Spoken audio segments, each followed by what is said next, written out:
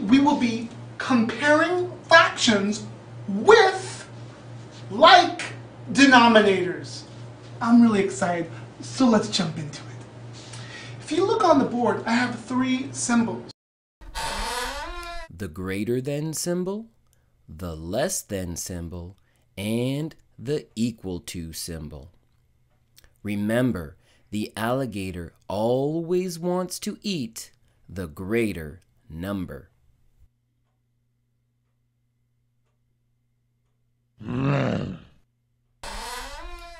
Alright, just want to make sure you didn't forget. So now that we've reminded ourselves about these three symbols, let's do these problems. We have 3 fifths, and we have to ask ourselves, is it less than, greater than, or equal to 4 fifths? We have like denominators. Therefore, we can go straight to the numerators to figure this answer out. We have a numerator of 3 and a numerator of 4. We know that 3 is less than 4. So we will read this. 3 fifths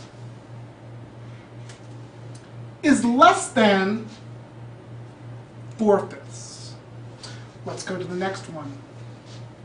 We have 5 sevenths is less than, greater than, or equal to 3 sevenths we know once again we're dealing with like denominators. So we look at the numerator. So we're looking at the numerator 5 and the numerator 3.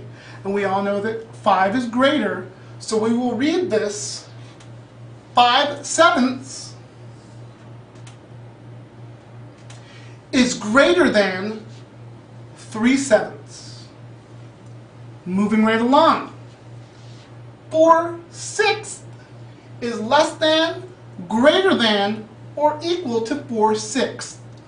Once again, we're dealing with like denominators, so we look at the numerator.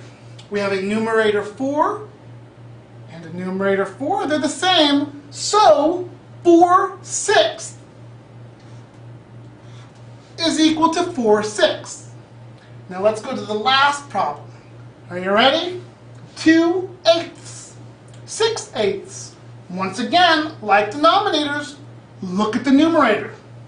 The numerator 2 and the numerator 6. We all know that the numerator 2 is smaller than the numerator 6.